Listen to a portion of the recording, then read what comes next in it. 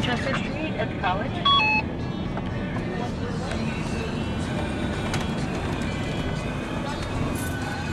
Oh, was it?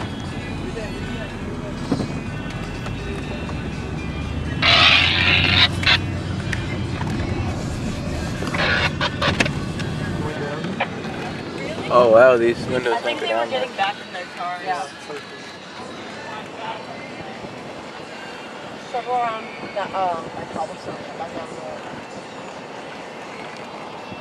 Oh my god, her outfit is so shiny.